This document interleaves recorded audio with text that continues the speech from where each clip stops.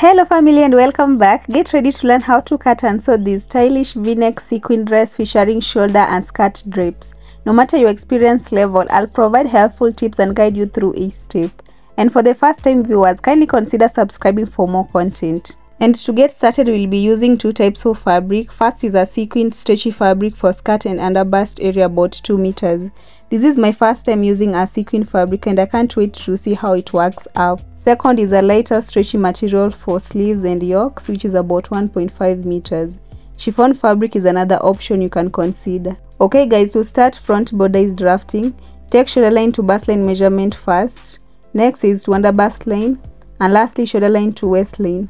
Having marked repeat same on the side in order to achieve straight horizontal lines which you are about to square out. With that completed, I'll go ahead and label each starting the shoulder line all the way to waistline.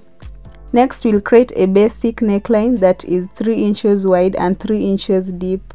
Then I'll just smooth out neckline with a curve ruler. Now we'll take half shoulder measurement from center front. Mine is 6.5 inches. I'll add half an inch for seam allowance. From there measure 1 inch down for your shoulder slope which is to be drawn from the mark to neckline width as can be seen. Alright, let's measure chest line starting from the point where the shoulder slopes down. Have put a formula on screen to help you calculate yours in case you don't know how. Once you have that measurement, mark and draw straight horizontal line across that point. So now that's the chest line. On top of that, transfer half shoulder measurement to drawn chest line just so you can achieve perfectly straight armhole depth joining shoulder slope to chest line. With that in mind, mark quarter bust circumference on chest line, then go ahead and find armhole depth midpoint and mark as well. Further on, go in with 0.5 inches from that exact point. And lastly, use a French curve ruler to come up with a nicely drawn armhole in that manner. Next, I'm going to add darts to do so, I'll measure half bust span inwards from center front on waistline. I'll repeat same measurement on the bust line. These marks will help me draw that line along like that. Measure further that width of 1 inch, that's 0.5 inches on each side of that line. And still on that line, go down by 1 inch from bust line and mark that apex. And basically that's how to come up with a basic dart. Now we'll be focusing on taking quarter waist circumference on waistline from center front plus 1 inch dart replacement plus another 1 and a quarter inch stitching allowance. Since we already marked quarter bust circumference on chest line earlier, we'll be required to add same stitching allowance and with that in mind, draw body side outline like that. Time to move on to part drafting. Measure half an inch inwards on bust line right there so as to draw first bit of it from the mark to under bust line. When done, measure about one and three quarter inches on side outline from under bust line, exactly what I'm doing, just so I can finish up cap's lower edge with the help of a curved ruler as shown. That's not all since you also need to draw lines from where you'll slash and spread for pleats. Since my shoulder line ain't that much, I've decided to mark 3 quarter inches rise from where I'll just draw lines radiating towards cap's bottom edge. For wider bust circumference, incorporating 4 to 5 lines will ensure enough pleats. Next is to widen neck width by 0.5 inches measured from original neck width to achieve a flattering V neckline. Let's now focus on cutting out outside edge of the pattern. Later we'll move on to shaping the cups and underbust areas.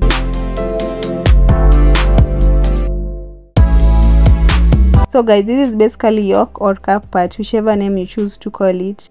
Next up, I'll number each of the cups panel to the last one. Pay close attention as I cut out one leg of the dart, then I'll wrap it like that, after which I'm going to secure it with a tape. I'm now going to trace out another pattern from the main one. The reason I normally do this is to have one as reference so that once the first is slashed and spread, I'm able to shape it using the second one.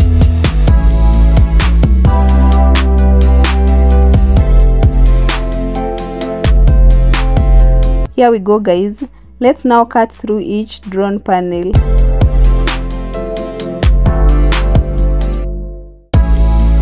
Here is another pattern paper. The line drawn represents point of reference from where I'll spread all cut panels. To do this, I'll be making sure the first line on them is aligned to reference line as I secure with tapes each one of them from the first to the last. It's equally important to know that I'll be spreading by 1 inch.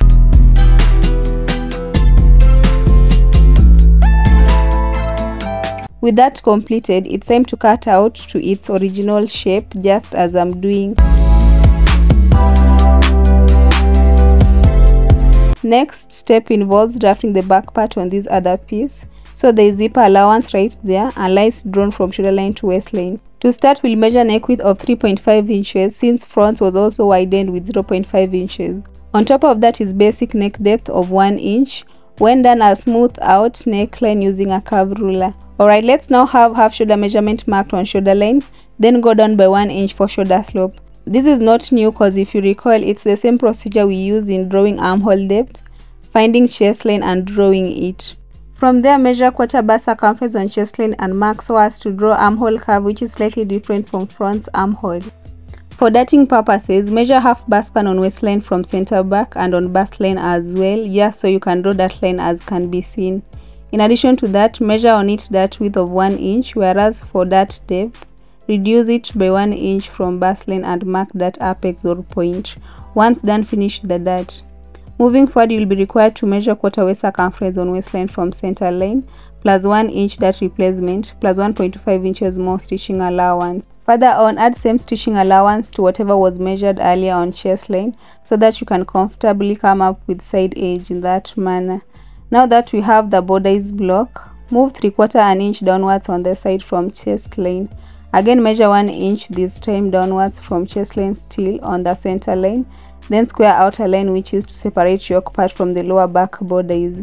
One last thing is creating V neckline drawn from neck width down to chest line. And like I said, we have yoke part right here.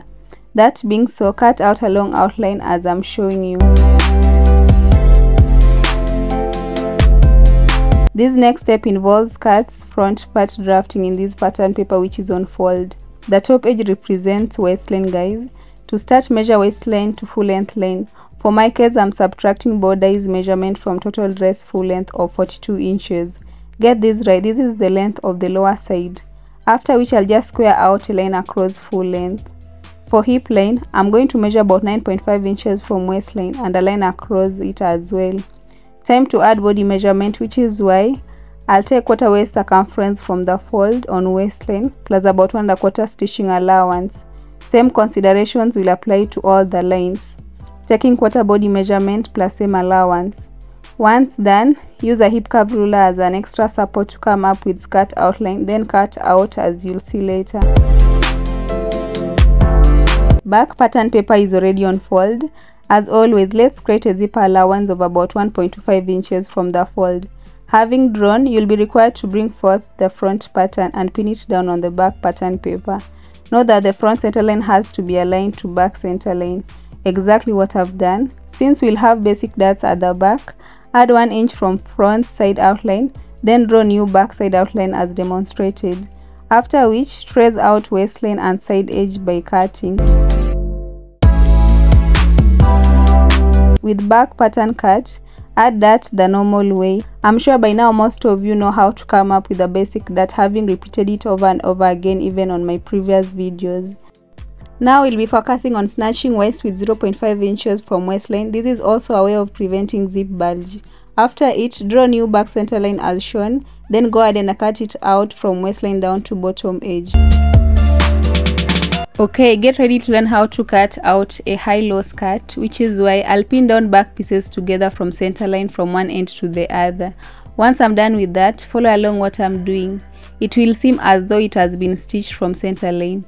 Moving forward, pin down front pattern on it after making sure all edges are aligned. For my case, I'll measure 5.5 inches from hip line on the higher side. So now I'll draw new bottom edge from the mark to the left corner from where I'll cut out.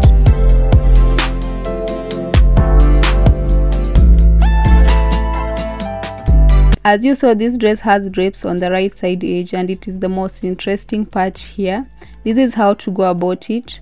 Measure 2 inches from waistline. Then from there measure about 1.5 inches as many times as you want depending on the number of pleats you want to create. Here I'm drawing a line diverting towards waistline so that I can measure points where the rest of the lines are to be drawn. And I feel like 1 inch apart is perfect. Then I'll go ahead and join the first mark to the second ones with lines. If you want like straight pleats, go ahead and draw straight lines. I'm currently slashing through the lines, but know that I'm not doing that all through. Here I'm trying to spread it on a different piece of paper with about 3 quarter inches in between all channels.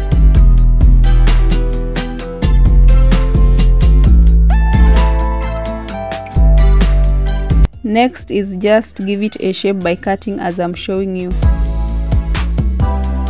As you can see I've traced out fabric pieces from drafted patterns leaving about 0.5 inches stitching allowance except on the side edges. Did same for back pieces as well. Fabrics and linings all traced out. This is where the cap's duplicate comes in. As I'll be pleating, I'll use it to ensure exact size is achieved. And very fast, let's move all the pins as we prepare to begin stitching. Like I mentioned, we'll make pleats as we use the duplicate to make sure the size and shape is maintained. So guys, from these notches, you'll be required to double hem V neckline first before we start making pleats. Have pleated one of the caps off camera just to give an overview of what your outcome should look like. Let's pleat the second cap together. Decided to measure 2 inches through a shoulder line just so it's easy making pleats from them and also they'll be uniform this way. I'm trying to check if shoulder lengths are of the same measurement before I proceed. The same way, pleat again round bottom edge all round then iron. Here is the end result after ironing and stitching both ends. Remember to take your time and be patient during this process. You have to keep pressing until the fabric lays flat like what you see. Alright, now wrap them a bit then stitch right there. That being so, it's time to attach underbust piece to cap pieces. First you need to notch at the center after folding like that. Then align the notch to the cup's midpoint as you stitch both sides with 0.5 inches all round. This is me showing you how to practically attach underbust piece to cup pieces as explained earlier. The trick here is to always begin stitching from the center points going sideways or you can as well pin them down together before stitching. It's a lot more easier that way. Okay, let's wrap the ugly side using the underbust lining. Don't worry, this is quite simple. Put right sides together and stitch with 0.5 inches all round. Again, stitching has to be done from center points, guys. I'm currently top stitching on the underbust lining very close to seam line. This will prevent the lining from showing on the fabric's right side. Back pieces here match to linings. Let's stitch along the neckline from top to bottom with 0.5 inches. After stitching, top stitch same way we did with the front part. Now we'll focus on attaching lower borders to yoke part. Put right sides together then stitch with 0.5 inches. With that completed, wrap it up using the lower borders lining and stitch further with 0.5 inches. Again top stitch on the lining right side to prevent it from popping on the fabric's right side. After we seal from center lines together as well by stitching, you should end up with something like this having followed instructions given. And always remember to iron after each and every step. From here go ahead and stitch that's from where we made notches. Look at what we've got. I want to show you a very key technique also used to prevent zip bulge. But first I'll draw center line in that manner. This is how to go about it. Measure half an inch upwards from waistline, then square out a line as shown from where you'll be required to cut out. After doing so, loosely stitch along drawn center line top to bottom so as to easily join shoulders. Having stitched loosely along center line, bring forth front pattern and follow along what I'm doing. When joining shoulders, wrap everything else with the lining and stitch. Here's the final look after joining shoulders as explained. Looks neat on both sides. Alright, I want us to make pleats on the skirt's front piece. If you notice, a line is drawn which is hip line. First, we'll confirm measurement on the shorter height which is about 10 inches, whereas we have 14 inches on the opposite side. Meaning we'll be forced to pleat 4 inches for the heights to be same. Also me pinning down as I pleat 4 inches from the longer side. Had to confirm if at all what I have is 10 inches required measurement. Forming dreads or pleats on a fabric is that simple guys. Now I'll be attaching skirt pieces to top from waistline with 0.5 inches right sides facing each other. As you can see a line is drawn which is back center line. So now we loosely stitch along it on the zipper space, a back stitch, then I'll proceed with small normal stitches to the end have done as per the instructions given and I didn't back stitch at the top since we'll tear it out when fixing zipper. Further on stitch on side using body measurements both sides. I love this professional look. Let's now move on to tearing zipper allowance. Having done that, here are puff sleeve pieces to be fixed to armholes gathered only around wrist edges. Top edges are exact armhole measurements. Have created an allowance just so I can easily fix sleeve all round with 0.5 inches right sides put together. Once I'm done, I'll go ahead and fix this long hidden zipper on its space as well as double hemming round bottom of the dress. Have honestly enjoyed creating this dress. What do you think of the end result? Can you let me know in the comment section? I appreciate you all for the love and support. Be sure to subscribe if you are yet to.